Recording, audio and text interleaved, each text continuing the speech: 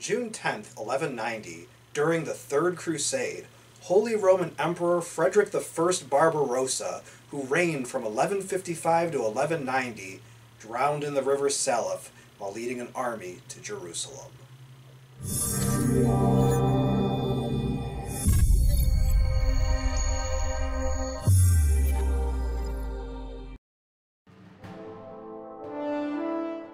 Frederick I Barbarossa, known as Redbeard, is generally considered one of medieval Europe's greatest emperors.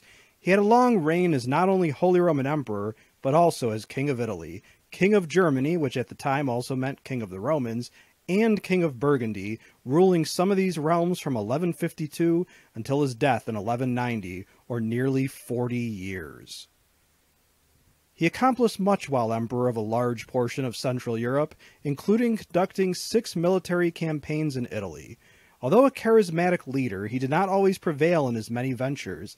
In 1176, at the Battle of Legnano, he suffered his most infamous defeat at the hands of the Lombard League in Italy.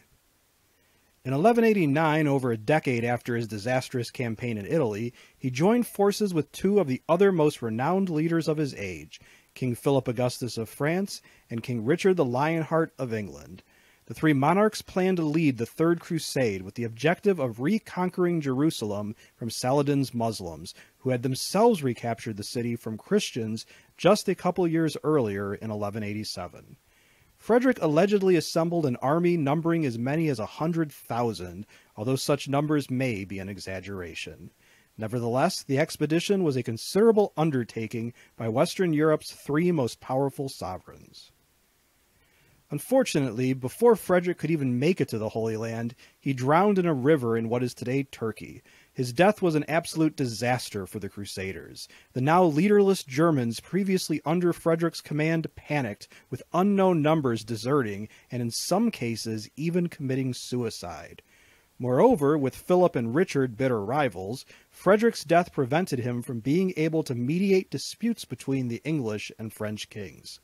What followed as the remnant of the Third Crusade was largely King Richard's crusade, which had mixed success, ultimately failing in the main objective of a Christian reconquest of Jerusalem. We are left to wonder what might have happened had Frederick survived a few years longer. Some have apparently also actually questioned whether Frederick did in fact die.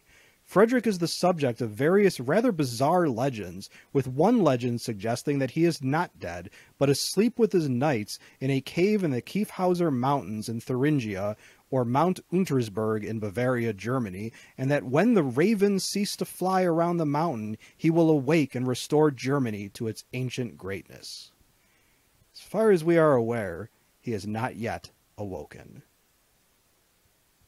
If you liked this video and would like to receive notification of new videos, please feel welcome to subscribe to History and Headlines and become one of our patrons.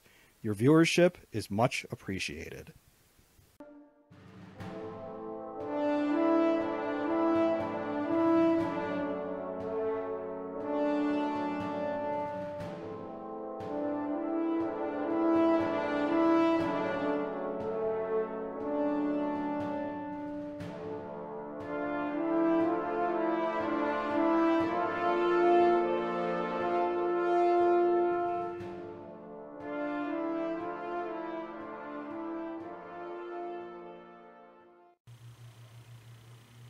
As a question for my students and subscribers, if Frederick had not drowned in the river or gone to an indefinite sleep, would the Third Crusade have met greater success, perhaps even taking Jerusalem back from Saladin?